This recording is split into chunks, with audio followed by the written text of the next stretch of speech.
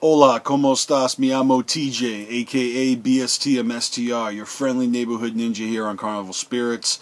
I've got a list of seven ninjas that I want to give a shout out to, and I'm going to try and make this video as short as possible because I lost my laptop's ability to make videos, so I'm doing this on my iPad, and it's going to have to be a one-shot deal. So on the top of my list, I've got Test Dummy 22. I want to give a big shout out and thank you for making a video acknowledging the package I sent you a couple years ago. Better late than never. I hope you enjoy Juggalo Agenda and all the Juggalo themed, uh, you know, open thank you letter and the tribute music that I made for ICP and Juggalos. Uh, that shit's just something I did for fun in the past. A lot of ninjas really uh, identify with it and have given me a lot of positive feedback. And I thought that you know a Juggalo of your stature uh, and caliber and likeness would be able to appreciate that piece of uh, work that I've put together. Um, but your video, you know, inspired me to pay it forward and make an official apology video to Nappy J.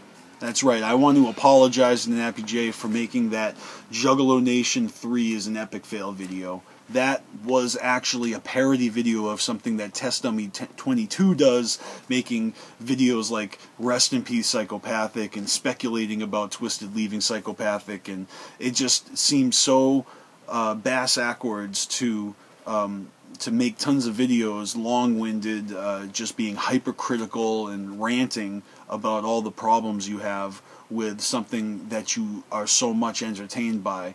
And I, for one, have always been entertained by Nappy J's videos. It's very ambitious of him to try to do a collaborative project and, and have it make sense. And just because it was a little rough around the edges doesn't warrant the type of hate that I gave that video. I truly feel that if you are down with the clown, that you would have a better um, respect for uh, the curtain that hangs in between the audience and the inner workings of psychopathic. And at the same time, I joined YouTube already knowing that for the most part, juggalos and not just juggalos, but YouTube YouTube juggalos for the most part are not taken seriously, and a lot of people uh, constantly give reasons to not be taken seriously. But Nappy J is one of those ninjas who puts thought into his videos he actually makes an effort to make a video enjoyable to watch with awesome backgrounds and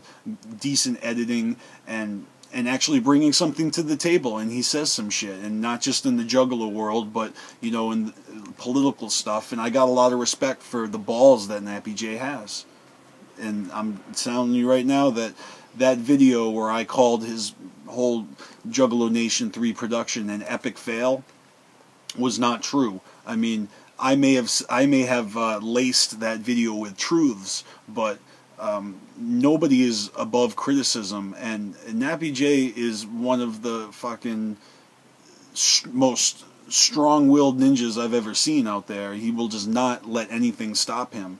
So if he's going to school, if he's you know fine-tuning his skills, I have no doubt in my mind that he's going to do something fresh and I'm always paying attention when he makes videos, not because uh, you know he's got good editing, but because he actually has a brain and he's not afraid to use it. And you know, so I'm on Team Nappy, uh, and I'm proud to have contributed a song to the soundtrack of Juggalo Nation 3. Uh, if you guys don't know about that, and check it out. Um, other Juggalos on this list are psychopathic reviews uh, another ninja who has inspired me to put better content on YouTube. His his reviews are off the chain. They're short, sweet, to the point, but they have a little something extra that only an old school juggalo could provide. And um, let's see, CPN, uh, Big Irish Juggalo.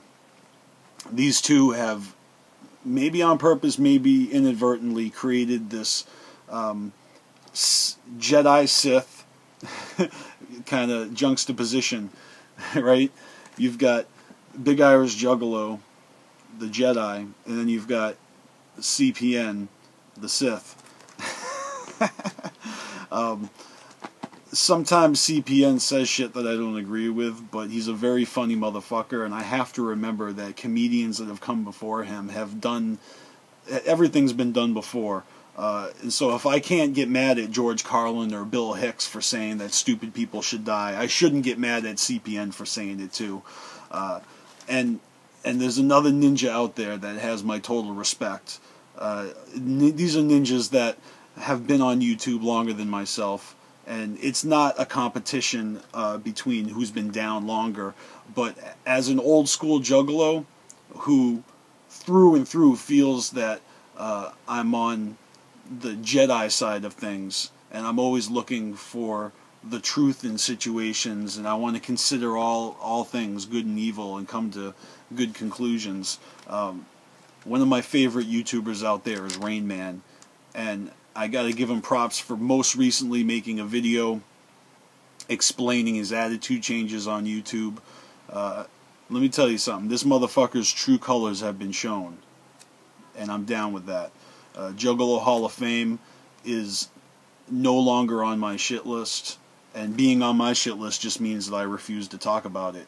But let me tell you something.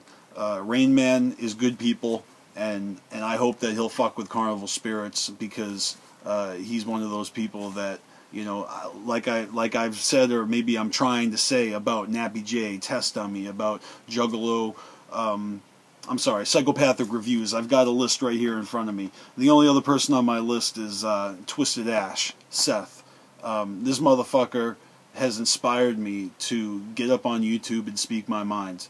And I don't agree with everything that any of these guys say. Uh, I don't I don't agree with anything that any, everybody says. I mean, it's not about agreeing with them. It's about admiring. Uh, all of them are so unique and different, and that's what I admire about them. And I'm trying to I'm trying to be like them, because they're the ones that I see that are really keeping it real. And you know, on that note, I'd like to say that I have uh, reason to believe that the Boy Blue 91982 is actually an undercover Fed.